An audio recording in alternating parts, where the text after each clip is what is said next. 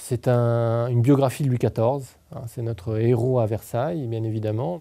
Le but est de raconter sa vie, les événements marquants, euh, de sa naissance à sa mort en 1715, c'est un règne extrêmement long, et euh, ensuite d'aborder euh, les thèmes principaux, c'est-à-dire les arts, évidemment. On connaît aujourd'hui Louis XIV grâce à Versailles, il a fait bien d'autres choses, les Invalides, c'est aussi Louis XIV, les ports, Rochefort, le canal du Midi, c'est encore Louis XIV.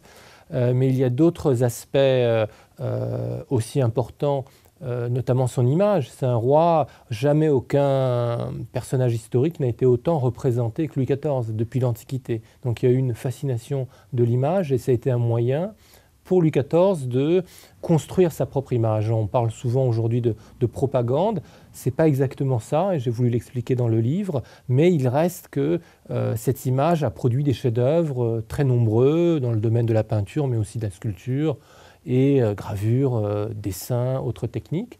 C'est devenu un mythe très tôt de son vivant et euh, grâce essentiellement à Voltaire au siècle suivant, qui écrit Le siècle de Louis XIV. Et à partir de là, on a enchaîné avec les historiens, avec le cinéma, et c'est aujourd'hui aussi une partie importante de l'image du roi. Parmi euh, les illustrations, la quasi-totalité sont des œuvres qui sont conservées dans les collections de Versailles, ce qui montre qu'il y a ce lien entre ce château qui était l'œuvre d'une vie pour Louis XIV et euh, qui permettent d'illustrer tous les aspects du règne. Donc il y a vraiment là une, liaison euh, très très forte, très intime. Louis XIV s'est identifié à un monument qui est son monument, son choix personnel, qui est le château de Versailles.